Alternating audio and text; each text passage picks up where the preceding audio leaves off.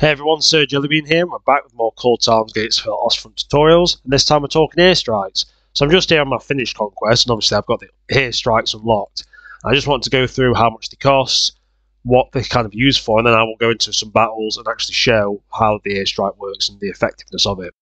So the airstrike, first of all, on the research tree, it's similar to every faction. It's under where the command tree is. So for here, it's under the command squad. It's the same for the Germans and the Russians.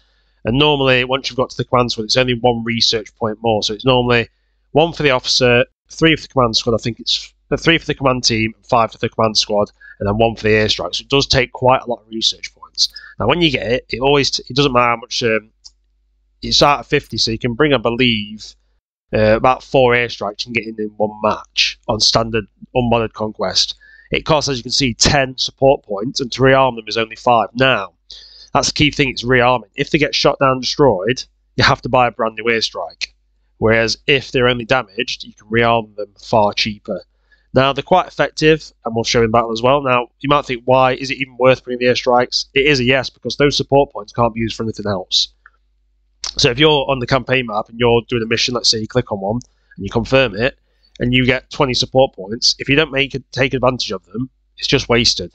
And sometimes, not always, if you watch some of my conquests, you'll see, like, if you watch Operation Day 27, I've got an IS-2 attacking me, and without the dual airstrikes that call, it probably would have wiped out most of my forces.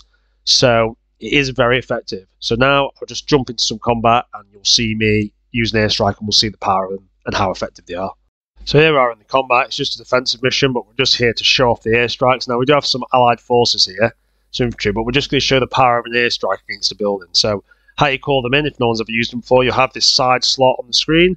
And as you can see, it doesn't have a number; it just has that weird circle, and it'll normally be the mark of whatever your faction is. So the Wehrmacht, the Germans have the Wehrmacht flag, the Soviets have the Red Army symbol. So we call the airstrike, and as you see, the airstrike from whichever side your reinforcements come. So in this case, the west. As it's coming in, it is anti-aircraft fire. So, like here, we're coming to attack this house. The enemy had anti-aircraft guns. You got to think about it because if it gets shot down, it's going to cost a lot more to buy another one than it will resupply. And they're very powerful. They normally drop, I believe, 500 pound bombs. Now it's normally one single weapon bomb. And these things can take out any tank in the game, any bunker, anything. And as you can see out here, watch.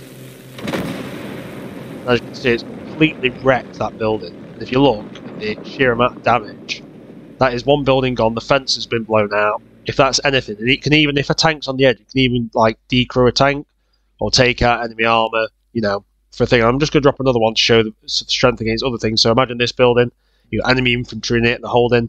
These things are used. You know, they are quite hard to get in standard conquest. You don't get that many support points. You don't get that many airstrikes. But if you've got a really hard target, or if something's attacking you, and you're caught off guard, it can save you from losing some of your more specialist tanks. Especially like with Finland, when you've stolen a lot of vehicles, you might need to save a tank because you don't have access to it in your research tree. The damage here on this building. As you can see, completely smashed through it. Now that building's still standing. I don't think you can fully destroy these, but anything in that would be dead. Anything around it would be dead. It's devastating. So yeah, airstrikes very useful, very effective. And also, they do have machine gun cannons on the front, so sometimes they will come in and also spray the machine guns at the enemies. So, very useful. And remember, try to keep them alive, because if you do, obviously it's a lot cheaper to resupply them, it is to completely rebuy them. And they can become quite useful in your strategy. And if you have enough supply points, you can even use them to completely demolish enemy positions. So, yeah, I'm very big fan of them. Anyway, I hope you found this tutorial useful. If you have, so like, subscribe, and leave a comment. And if you didn't, tell me why. I will see you on the next one. Thanks for watching, everyone, and have a fantastic weekend.